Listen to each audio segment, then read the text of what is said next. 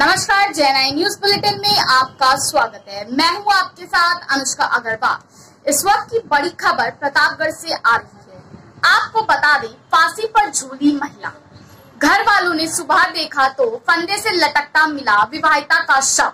मायके वालों ने जान से मारने का लगाया आरोप। सिगड़ामऊ थाना क्षेत्र के भूला गाँव, जिला जौनपुर की अनिता की पाँच साल पहले कंधई थाना क्षेत्र, नेवादा गाँव के निवासी राजेंद्र पुत्र ललन वर्मा के साथ हुई थी शादी।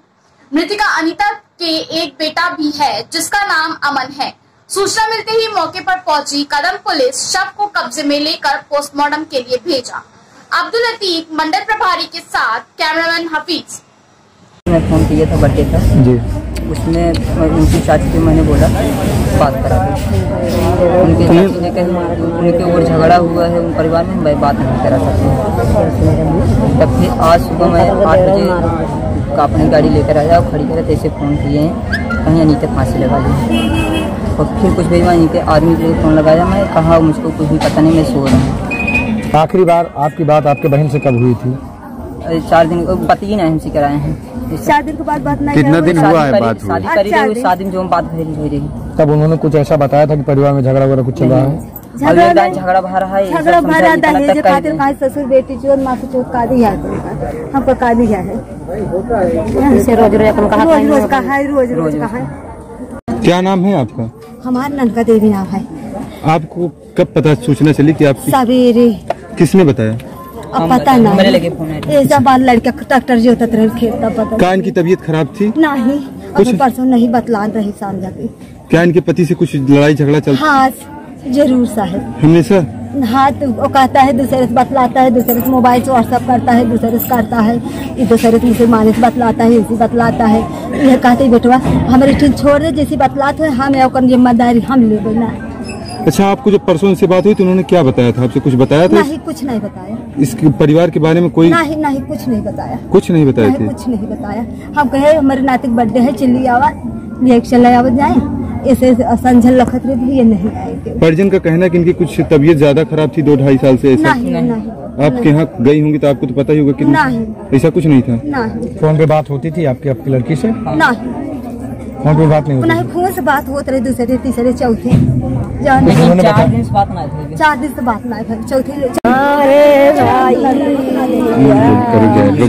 चाची जी आपका क्या नाम है?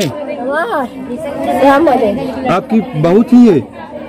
आपकी बहू थी? हमारी बतो है। कितने बजे भोजन करके शाम को लेटी? अरे भैया सबके संजय खाए पी को रहे करें छते पर छते पर से आए नहीं बिना काम का पेट में दे नहीं। जैसा खराब है कहीं कहे जैसा कि मायके वाले आरोप लगा रहे हैं आपके ऊपर इनको मारा गया है। अरे कुछ नहीं भैया। कुछ मन खात हुए तो मारेगा भी आए होता नहीं तो फिर भी फांसी लगाने की कुछ वजह हो सकती है फुटाऊ झगड़ा लड़ाई किसी से आप है पूछ ले बोल रही है। तो बात नहीं इनके पति से कोई फ़ोन पे बात विवाद हुई थी? अब भाई पति नहीं बता सकते लेकिन लेकिन परिवार में ऐसी कोई कौनो बात नहीं है, पूछ लिया कहाँ से भरा है भैया।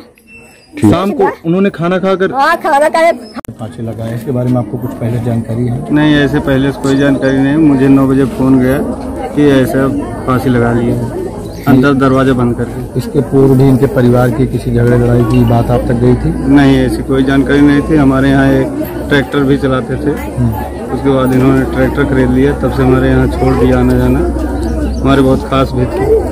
पता चली आप दिन पहले आए थे इनके घर आप? लगभग हम आए थे छह महीने पहले। छह महीने पहले। हाँ। कोई आए थे तो कुछ ऐसा मसला कुछ आपसे ऐसी बात हुई कोई थी बात कि नहीं थी। इनके यहाँ कुछ ऐसा चल रहा है? नहीं ऐसी कोई जानकारी इनके पति से आपका कोई संबंध था? कोई बातचीत तो अच्छी होगी अब? बातचीत है लेकिन काफ़ी दिनों से वो मुंबई में है। अच्छा। काम सिलसिले में। तो उनसे आपसी बात नहीं हो पाई है? नहीं नहीं। फ़ोन को ऐसे बात होती नहीं। चलिए, कम वो तो उनका पति तुम क्या बयान कर रहा है?